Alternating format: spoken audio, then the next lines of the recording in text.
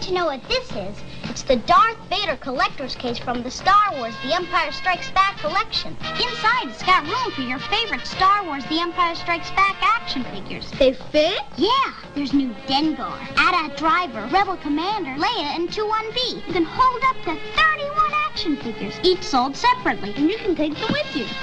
Darth Vader collector's case. Action figures, each sold separately. From Kenner.